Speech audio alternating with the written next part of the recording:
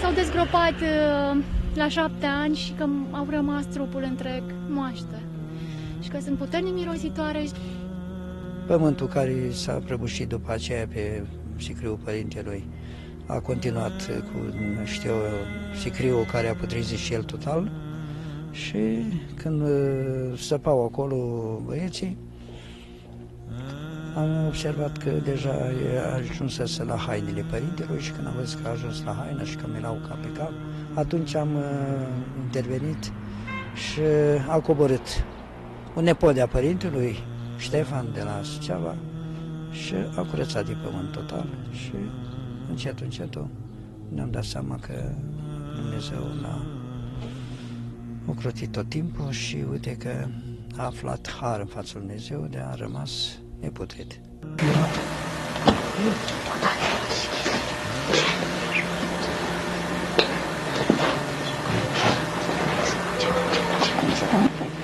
Sunt singura, nu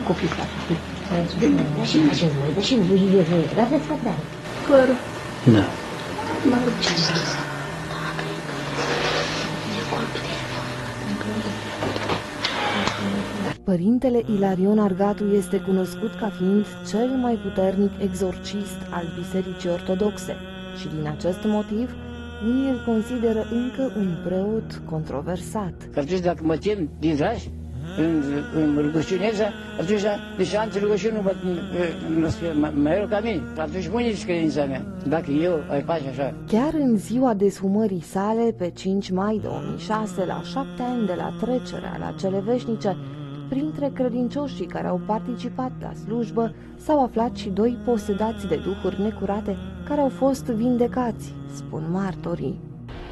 Deci, în primul, primul semn al, știu, credinței pe care a avut-o și har pe care l-a aflat uh, părintele, fața lui Dumnezeu s-a și văzut prin uh, actul respectiv, minunea respectiv care s-a petrecut atunci. Părintele Ilarion Argatu a trecut la veșnicie pe 11 mai 1999 la Mănăstirea Cernica și a fost înmormântat la Biserica de la Boroaia, din județul Suceava. Cu puțin timp înainte de a închide ochii pentru totdeauna, Marele Duhovnic a făcut câteva profeții cu tremurătoare, anunțând un sfârșit iminent al lumii. Bucureștiul se va afla în centrul unor scene apocaliptice. Oamenii își vor vinde sufletele pentru bani, nu vor mai avea respect pentru nimic și nu vor mai ține cont de credință.